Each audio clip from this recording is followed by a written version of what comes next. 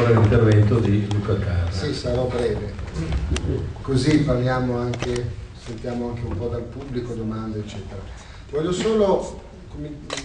dare alcuni elementi informativi del contesto della sanità lombarda, visto che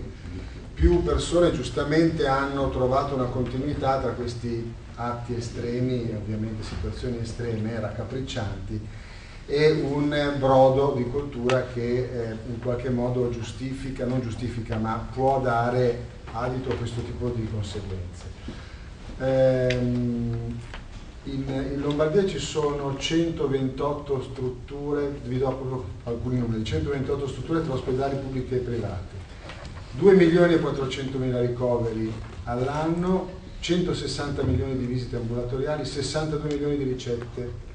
farmaceutiche ogni anno. Il budget della sanità lombarda sono 17 miliardi, 3 e 300 milioni di euro, che è il 75%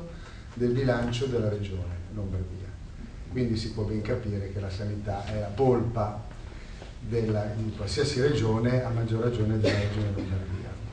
Eh, qual è lo spazio dei privati in questa regione? È uno spazio che è andato via via, via crescendo in questo ventennio eh, formigoniano con una, con una crescita esponenziale. Attualmente i privati eh, occupano circa il 31%, il 31 dei, post, dei letti sono privati, ma il 43% eh, dei soldi stanziati in prestazioni sono dei privati pur i privati essendo meno ancora percentualmente, anche se per poco,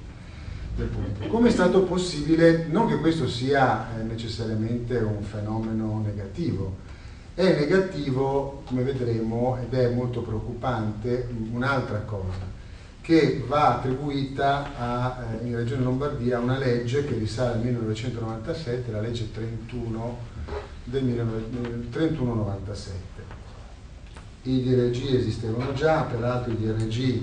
sostituiscono il pagamento, cosiddetto pagamento a piedi lista che c'era prima e che faceva ovviamente eh, preoccupare gli amministratori dell'epoca, peraltro i DRG vengono importati con un po' di esterofilia dall'America dalla sinistra o dal centro-sinistra o al massimo dal centro, ecco, diciamo, è la Rosi Bindi che porta i DRG insieme a Taroni uno dei ideologi della sanità dell'Emilia Romagna, non certo tacciabile di liberismo sfrenato, porti dei regimi in Italia. Quindi con le, diciamo così, migliori intenzioni,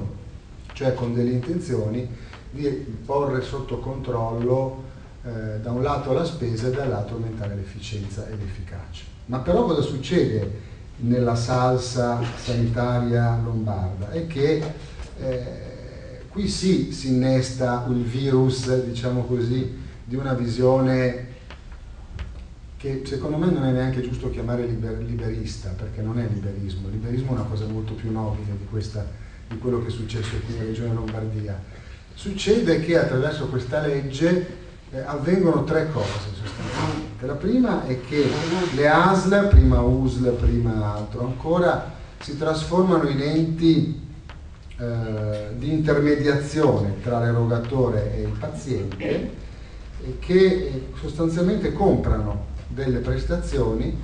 vuoi dal privato vuoi dal pubblico indifferentemente, acquistano queste, queste prestazioni. Eh, poi c'è il cittadino che eh, nell'ideologia eh, dominante allora anche adesso è colui che ha totale libertà di scegliere dove andare,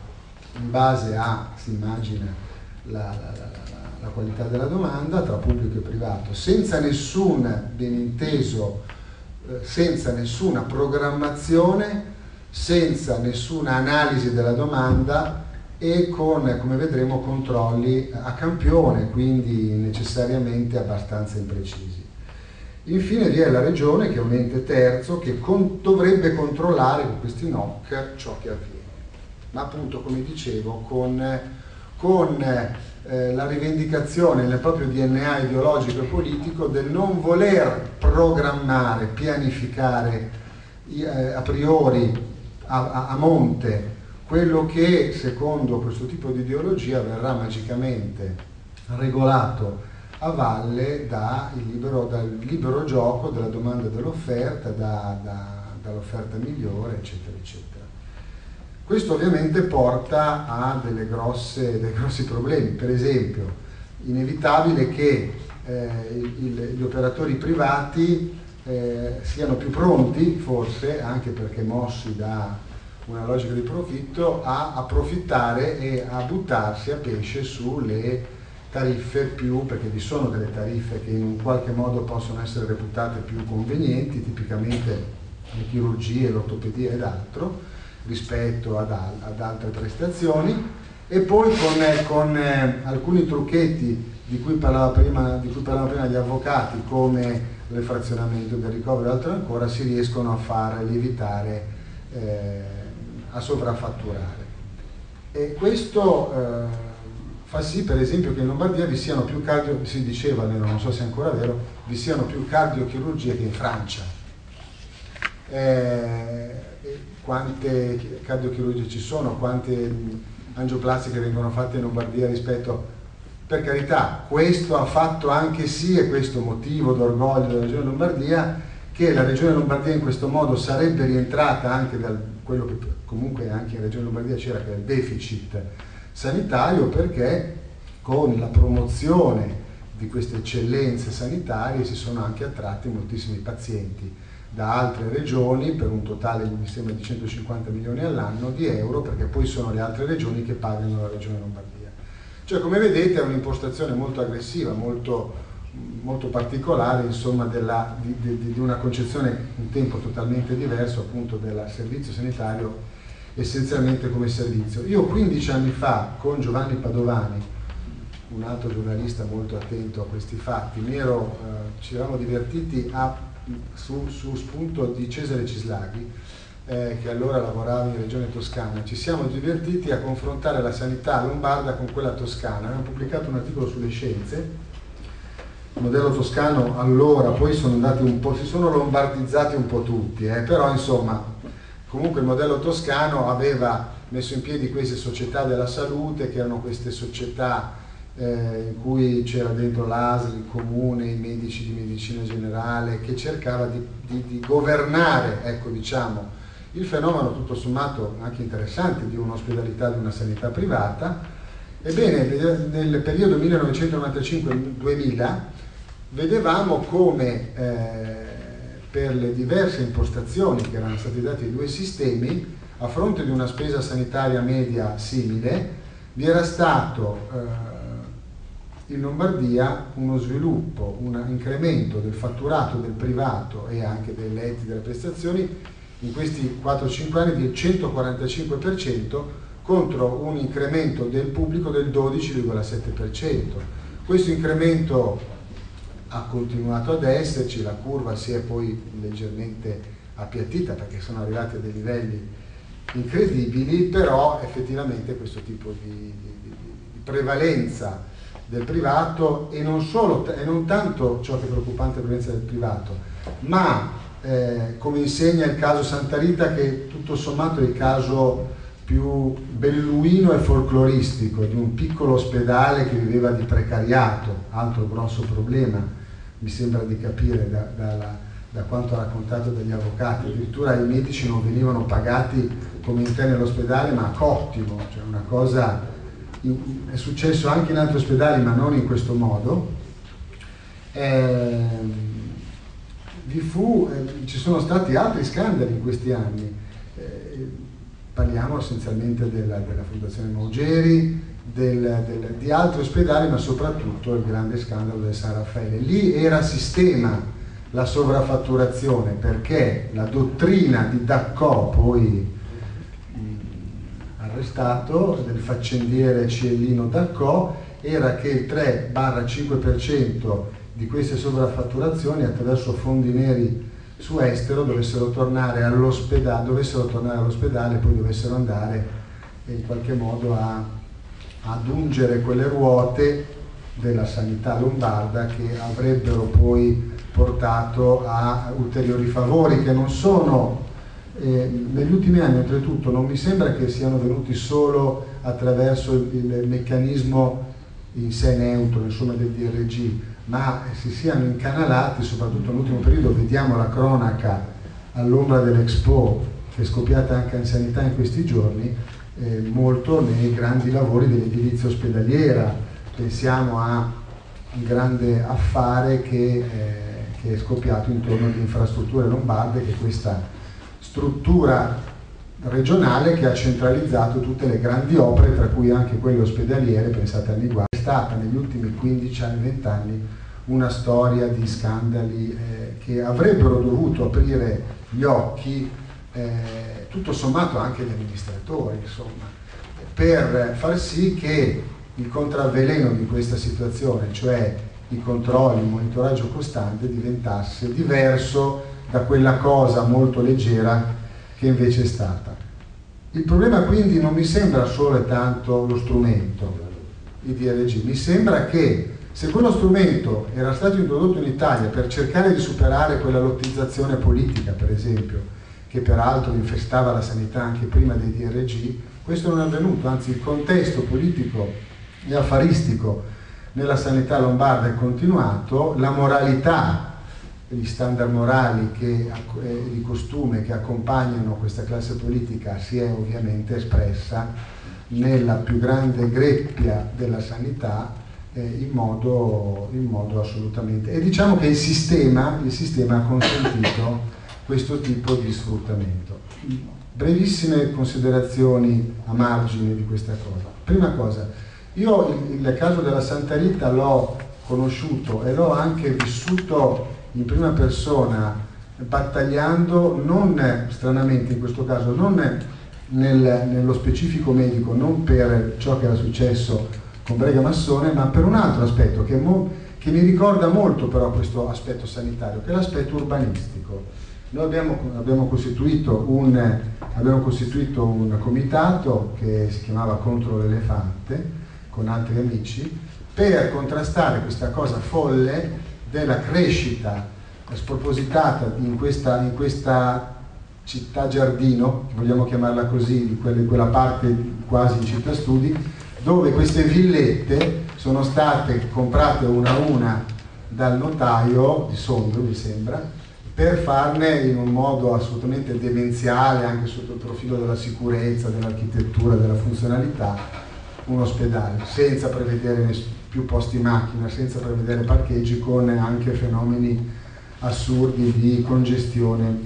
urbana. Perché dico questo, che mi sembra non centrare? In realtà c'è uno straordinario, io noto, oltretutto io ho tutto una, un passato e un presente di ambientalista nelle, nelle schiere d'Italia Nostra, ho seguito quasi di più questi temi di quelli della sanità. Eh, c'è uno straordinario parallelismo oggi in Lombardia tra l'urbanistica e la sanità. C'è lo stesso concetto della mancanza di regole. Non... Lupi, Maurizio Lupi, ministro dell'attuale governo, è il grande maestro di questa urbanistica contrattata, del, del rito ambrosiano, senza regole, senza, togliamo gli standard, non pianifichiamo, la peggiore parolaccia che potete sentire eh, per alcuni è la parola pianificazione, programmazione, controllo. Pianifichiamo. Piano, pianifichiamo. Pianifichiamo. Quindi questo è un primo aspetto eh, così interessante perché voglio dire lo spirito dei tempi non spira solo sulla sanità ma dappertutto, anche sul governo del territorio. Solo, solo in parte corretto purtroppo. Un secondo punto che, che, che, ho già accennato prima è che questo liberismo non è un liberismo, cioè al confronto i liberisti sono dei santi e degli eroi. Questo è un finto liberismo perché qui in realtà c'è stata una lottizzazione che ha determinato l'arricchimento di grandi gruppi a spese del pubblico, non è che se li sono guadagnati nel mercato privato, si sono fatti accreditare e hanno guadagnato sul pubblico. Eh, tanto poco liberismo che sono nati a Milano e eh, nel bene e nel male dei grandi gruppi concentrazioni monopolistiche, pensate per esempio al gruppo Rotelli che adesso ha preso in mano anche il San Raffaele, giusto per darvi un dato di quanto gigantesco sia questo gruppo, La sanità di Dio Ferruccio Pinotti, un libro molto interessante, parliamo di 5.329 posti letto, 199.053 ricoveri, 263.028 pazienti, 15.000 lavoratori e 1 miliardo e 400 milioni di euro. Nel bene e nel male, dico, non dico che se ne sia detto male, ma rendiamoci conto che ci sono queste grandi concentrazioni. Ultima osservazione, volevo provare anche io a rispondere alla domanda fatta dall'avvocato Mazzari. Come è possibile che fra i medici non sia scattata a un certo punto la rivolta o comunque la segnalazione, insomma, eh, di, questo, di, questi, di, questi, orrori che ci, che ci sono stati raccontati, pur facendo la tara sul cinismo estremo delle conversazioni telefoniche tra, tra, chirurghi su cui è nato anche un genere, un genere nel, nel, mondo medico quasi letterario, insomma, no? è noto che il chirurgo è cinico per natura, insomma, o, e, lo, e, lo, vuole anche in qualche modo, almeno con i suoi pari, forse un po' eh, mostrare questo lato. Eh, beh, qui effettivamente eh, hanno ragione coloro che hanno detto che non è una situazione poi così eccezionale, ma si poteva, ci se la si poteva aspettare. A me ricorda un giallo alla Dürremat, cioè un contesto in cui questa cosa pian piano si forma, c'è una sorta di anestesia morale che si crea nei medici di fronte a certe situazioni che sono frutto di una serie di fattori, un'estrema tecnicizzazione, parcellizzazione, ma anche precarizzazione dell'atto medico, cioè intere equip mediche che vivevano sul fare 10 o 20 polmoni eh, è una forma di, dire, degenerazione eh, estrema della medicina che non è poi così diversa da degenerazioni e scadimenti simili che abbiamo in altre professioni. Ma io voglio stare sul mio, nel giornalismo c'è stata una precarizzazione uguale, se non maggiore, che ha portato